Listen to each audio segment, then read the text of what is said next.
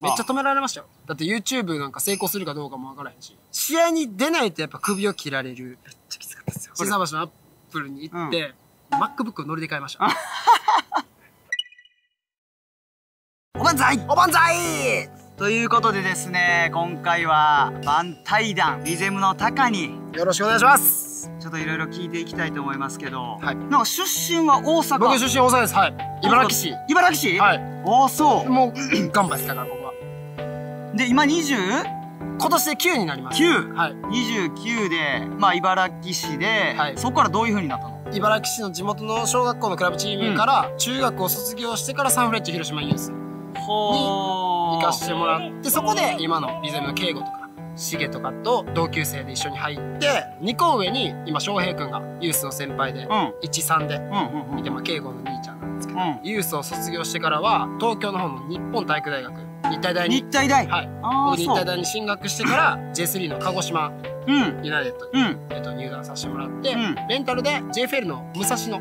武蔵野、はい。ああ武蔵野ね。武蔵野に入ってまたレンタルで、えっと JFL の奈良クラブうん。っていうところに在籍して18年かなうん。に引退しました。引退した。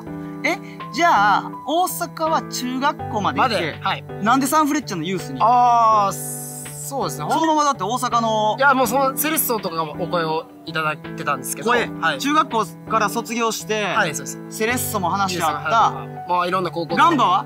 ガンバなかったです。ガガンバ行きたかったですけどガンバ応援してたよな。ガンバいやだからなん言ったら僕ジュニアユースとかに入りたかったんですよ。ガンバの？はい。うんうんでほんまにあのトップが練習してるうん。うんところの横の人工芝で。万博の横の人工芝。でやりたいと思ってたんですけど、うんうん別にセレクションとかも受けずに、うん。まあそのちょっと理由が今やったら結構普通やと思うんですけど、うん。例えば何々ジュニアユースからなるほどね。違うチームのユースチームに行くっていうのは、うん。まあ結構あり得る話なんですけど、当時僕の時代ではジュニアユースに入っちゃうとそのままユースに上がるかユースに上がれなかったら高校サッカーに行くそうね。っていうのがこう結構なパイプそうね。だったんで、うん僕はそのガンバのジュニアユースに入もし入れたとしたら、ユースに上がれなかった時にどうしようっていうのをちょっと考えなるほどね。ちょっと幅が狭くなるという、ああその下部組織でやりたいって夢夢というか。あったんやね。もちろん人工芝でできるし。J の下部組織でやりたいと。やりたいっていうのはすごくあって。うん。でも中学校の時にクラブチームに入ったらうん。卒業した時のユースの幅が広くなると思ったので僕はその絞らずにうん。中学うんのクラブチーム町クラブを選ばせてもらなるほどね。でまあご縁があって、うん。サンフレッチェ広島にほうサンフレッチェ広島は全寮制みたいな。全寮制です全寮制です。高校から全寮制のところに行くってちょっとなんかこう一つ一大事じゃないの？そうですね。まあここがちょっとまた変則的なところで、うん。あの広島ユースってうん。高校が県立で行くんで、うん。住んでるのが広島。そうだねそう。うんうん。じゃないと受けれないっていうそうねそうね。あれだったんで僕中3で引っ越したんですよ。ね、あそう。はい中3で広島の方に引っ越して、うん。寮に中3から入らせてもらって、うん。住民票を変えてで広島県民になって広島の高校受験する。なるほどなるほどなるほどなるほど。ことをしたんで僕は中3のラストの3学期だけ広島の中学に行ったんでへで高校を受験してうん。広島ユースに。うん。だからみんな同じ高校。3年間どうやったの広島は？えめちゃくちゃ田舎ですよ。らしいな。吉田町ってあがあ聞く聞く聞く。あの何もないです。うん。そこでみっちり3年間うん。やらせてもらって。監督は？ゴリさんなんで。森あ森山さん。はい森山さん。えそれで3年間やって、はい。まあもちろんそのトップを目指してたもちろんです。はい。なそれはどれぐらいの感じだったのトップに上がれるか上がれないか。もうやっぱりぶっちゃけ途中からは いや厳しいなっていうのはやっぱ薄々感じる。上がりたいもはもちろん。うん。ただやっぱりトップに上がる時ってタイミングっていうのももちろんありますしそうね。トップの状況。ね。僕の時はやっぱ久さんとか。久とがいたよな、はい、だから大学を経由して絶対に広島に帰ろうっていう思いを持って進学を。大学に行った時もやっぱ次戻ってもう一回サンフレッチェに戻るみたいなのはあったってこと？もちろんです。もちろんです。うんでも大学でまあ4年間やって、はい。広島から話はもうなかっなかったですね。たで話があったのがジュビロの練習を僕は行かせてもらっていて僕の大学の監督が鈴木正和さん、はいはいはいはいまあ、ジュビロとも関係だったんで、まあちょっと練習参加っていう感じで行かせてもらったら、当時監督が七海さんで、うんうんうん。しばらく行かせてもらったんですよ。結構長い間。七海さんもうん。あとジムうんの方もうん。まあいい感触で、うんうん。まあ僕もなんかうすうす、まあ、いけるという感覚は持ってたんですけど、うん。当時東光学院うのん。小川幸輝くんあが高卒。ーうん。僕大卒。で小川くんがうん。ジュビロとうん。アルビうん。からの正式オファーをいただいててへアルビに行ったら獲得したいっていう。えなるほど。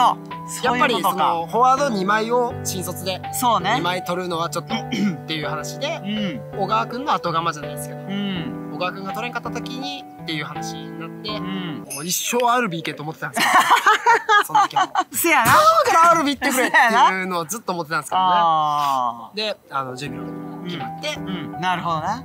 いやな結構でもそれずっとまあ言ったら時間をジュビロに。捧そうですね。げてたのに、結構。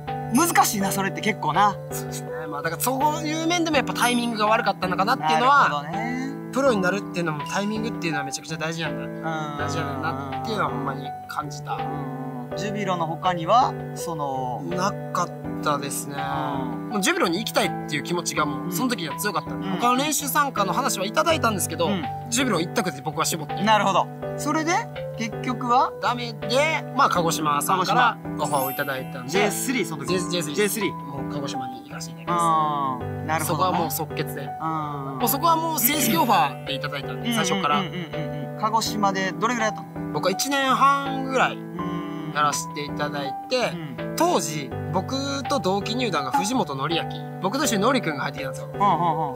ノリ君がすごい選手で、まあ、ノリ君からあんまりポジション取れなくて、まあ、武者修行っていう形で武蔵野さんからレンタルでっていう話をもらったんで、うん。まあ行かしてもうんらって。2年目に帰る予定だったんですけどその時奈うん良からも話をいただいて、うん。まあもう1年修行というか僕は奈良にレンタルでもう1年レンタルでだから在籍がずっと鹿児島が見てくれてたんですよ。なるほど。鹿児島と正式契約してレンタルレンタルって形やもんね。レンタルレンタル。そうです。レンタルがもう2年半ぐらいレンタルで出してくれて。レンタルなのに契約更新をいただいて。契約更新されるってことはやっぱり必要とされてるっていうチームでは。そうね。契約更新の時もレンタルで出るけど、う試合経験重ねて帰ってきてほしいから契約したいって話をいただいたんで、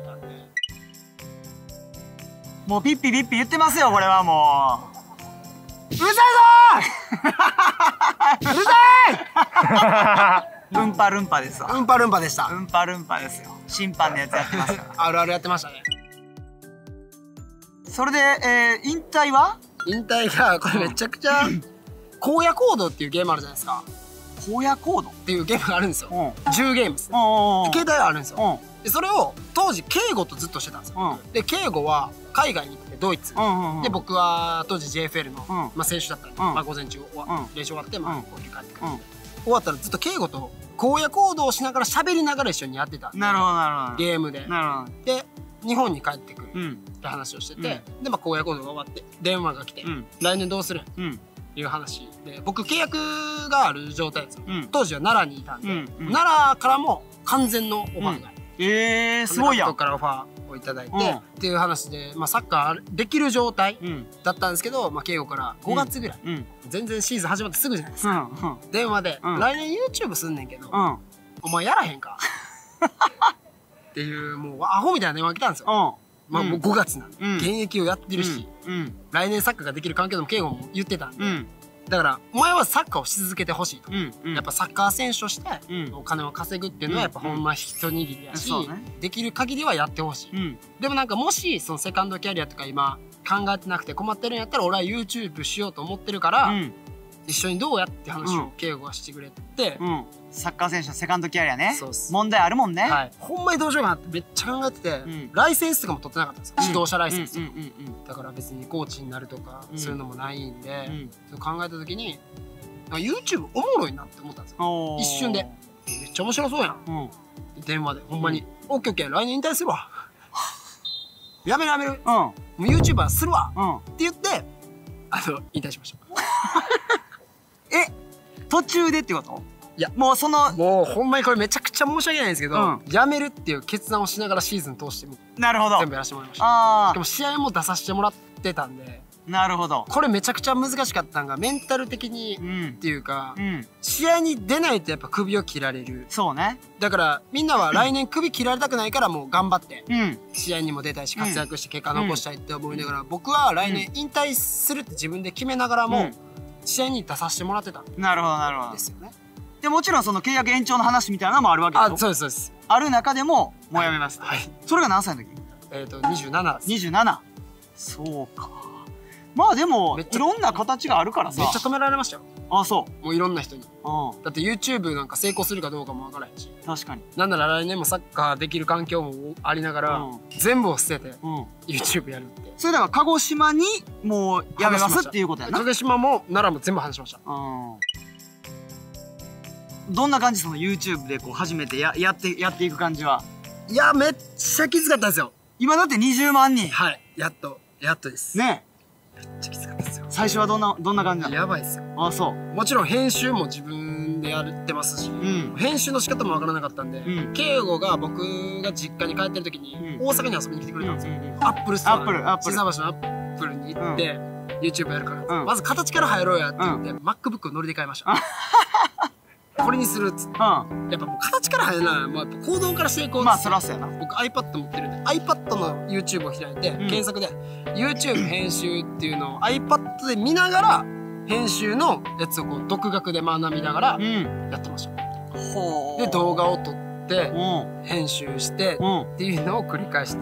もちろん YouTube で収益を得てないんで、うん。貯金を切り崩しながらうん。生活をさせてもらっててもうそこが尽きてやばいってなって働かなあかんってなってうん。バイトをしたんですよ。であ。当時コロナがめっちゃ流行ったんですよ。おう外にも出れない。中のおうち撮影しかできうない、ん。働かないけないけど、うん。コロナで働く当てがない、でめっちゃ募集とか探してもうタウンワークからもういろんなサイトも見まくりまくってうん唯一あったんがパチ屋やったんですよ。あんまり働きたくなかったんですうんけど、うん。働かざるを得ない状況だったんですよ。うんなるほどなで僕はパチ屋に働く。うん。圭吾は知り合いに広島の知り合いにバーの方がいて、うん。バーテンダーとして働く。うん。シゲは、えーうんホテルの受付うん。を夜勤でうん働くっていうこのそんなこ午前中撮影してうん。4時出勤やからもう撮影終わろう。つって上がってうん。バイトして12時ぐらい。までうん。でもシゲは夜勤なんで12時ぐらいから出勤し始めて朝方帰ってきてう朝そのまま撮影うん。昼寝て。んなるほど。でも編集してっていうのを繰り返してお金ないからどうするって言ってもうマジでみんなお金なかったんで、うん。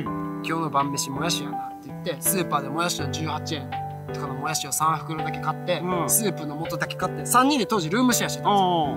鍋にスープの素入れてもやしだけ入れて余った汁に炊飯器のご飯を入れて食べてましたこれマジっす。すごいね。そっからおっていうのはどどういう時やったの？一回広島のフットサル大会に出たんですよ、うん。でも当時翔平君いなかったんで3人だったんですよね、うんフットサル5人なんで、うん。素人2人入れたんですよ。うんうん。もう全くサッカーのしてない、うん。マジで全くサッうんカーしてない、でもここの3人の僕らレベルがまあまあできると思ってたんで、まあ一応僕たちその高円で優勝してるんで、高校の時、うんだから元日本一を取ったうん。3人組なら、うん。素人を2人入れてでも、うん。フットサル大会うん。優勝できる説なるほどなるほどなるほどなるほど。やったんです。よなるほどそれがちょっとバズって。なるほど。でそっからチャンネル登録が伸び始めた。こいつははサッカーうまいやんあなるほどなるほど。本当はサッカー系じゃなかったんですよこれ実は、えー。過去の動画見てもらったら分かるんですけど、もちろんコロナだったんで、うん。サッカーができなかったんですよ。ペヤング食ったり、ん。もうほんま YouTuber 見してたんですよ。なるほどなるほど。よくあるやつやな。マジで水なしカルパスとか。水を飲まずにカルパス何本食えるか回んないああそれは回るの？ですよそれはもちろん。あのさ回るわけないでしょだって何も知らない人がカルパス食ってる動画見るんですよ、まあ何がおもろいねん。ってマジで考えたんですよ。3人で集まってミーティングして「いやカルパス飲みペヤング飲みどうする?」って。強みって何やろってなったんですよ、俺らの。なるほど。でもちろんサッカーしてきてたんで。うん。ちょっとサッカーやろうかサッカーで俺らの知ってもらう。うん。タカ、シゲ、ケイゴリゼムというものをみんなに知ってもらう、まあ、うん。認知してもらうっていうのが大事っていうのになって、認知してくれたらカルパス食ったりしても見てくれるよまあっていうそらそうやそらそうやそらそうや。あの考え。そらそになったんでサッカーをし始めたっていうのがほうサッカーをした理由です。なるほどな。だって言ってもサッカーを主としてやってる YouTuber の中では結構上位やろ？